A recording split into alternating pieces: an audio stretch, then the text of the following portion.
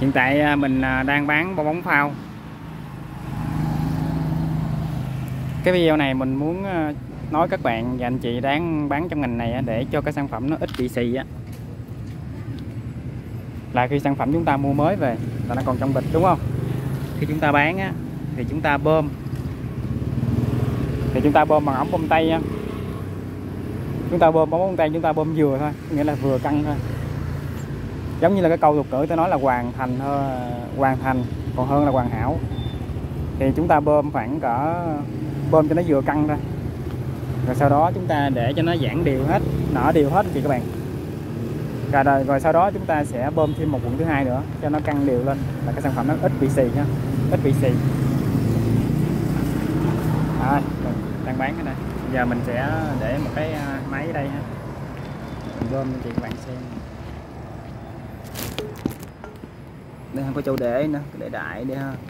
Làm video uh,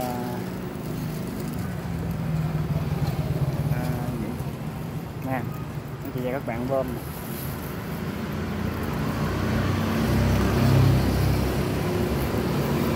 đây mình đang bơm giờ mình sẽ bơm á. Có nghĩa là mình bơm vừa căng ra đừng bơm căng quá.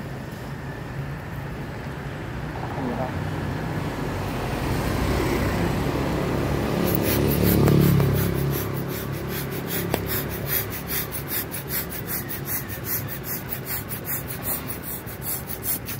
ta bơm vừa no tròn.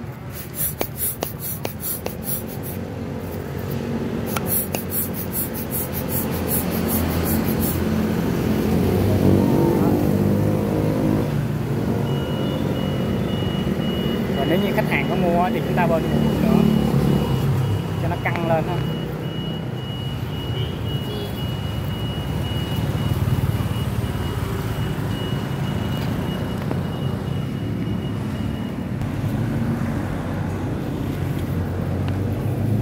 Chúng ta bơm bằng cái ống bơm tay như thế này nó sẽ bị dễ bị gắt. Nhưng mà chúng ta bơm con cốc này nè.